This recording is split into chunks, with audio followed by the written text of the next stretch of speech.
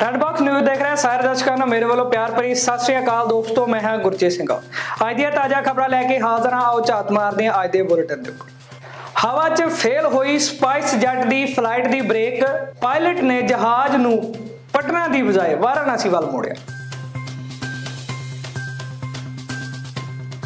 ਸਤਿੰਦਰ ਸੱਤੀ ਨੇ ਕੈਨੇਡੀਅਨ ਵਕੀਲ ਦੀ ਡਿਗਰੀ ਕੀਤੀ ਹਾਸਲ।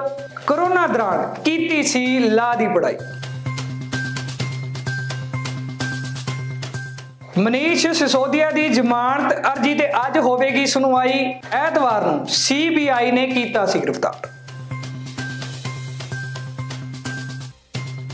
ਵਿਰੋਧੀਆਂ ਦਾ ਪੰਜਾਬ ਨੂੰ ਫਿਰਕੂ ਅੱਗ ਦਾ ਤੰਦੂਰ ਬਣਾ ਕੇ ਰੋਟੀਆਂ।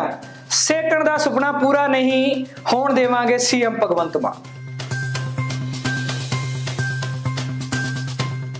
ਬਿਹਾਰ 'ਚ ਜੇਡੀਯੂ ਨੂੰ ਇੱਕ ਹੋਰ ਝਟਕਾ, ਸਾਬਕਾ ਸਾਖਤ ਮੀਨਾ ਸਿੰਘ ਨੇ ਦਿੱਤਾ ਅਸਤੀਫਾ। ਫਿਰੋਜ਼ਪੁਰ ਦੀ ਕੇਂਦਰੀ ਜੇਲ੍ਹ 'ਚ ਤਲਾਸ਼ੀ ਦੌਰਾਨ 19 ਮੋਬਾਈਲ ਹੋਏ ਬਰਾਮਦ। ਲੁਧਿਆਣਾ ਸਪਾ ਸੈਂਟਰ ਅੰਦਰ ਮਸਾਜ ਦੀ ਆੜ 'ਚ ਗੰਦਾ ਕੰਮ, ਬੰਦ ਕਮਰੇ 'ਚ। ਲੱਗਦੀ ਸੀ ਜਿਸਮ ਦੀ ਬੋਲੀ।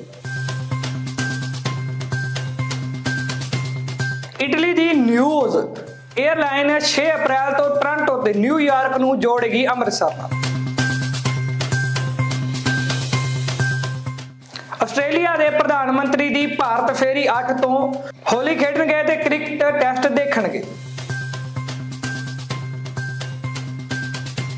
ਏਸੀਆਈ ਦੇ ਤਾਜ਼ਾ ਤੇ ਮੁੱਖ ਖਬਰਾਂ ਇਸੇ ਤਰ੍ਹਾਂ ਸਾਡੇ ਨਾਲ ਜੁੜੇ ਰਹਿਣ ਲਈ ਸਾਡੇ ਫੇਸਬੁੱਕ YouTube ਚੈਨਲ ਨੂੰ ਸਬਸਕ੍ਰਾਈਬ ਕਰ ਲਓ। ਹੁਣ ਮੈਨੂੰ ਤੇ ਆਜ਼ਾਦ ਗੁਰਚੇਤ ਸਿੰਘ ਔਲਖ ਨੂੰ, ਸਤਿ ਸ਼੍ਰੀ ਅਕਾਲ।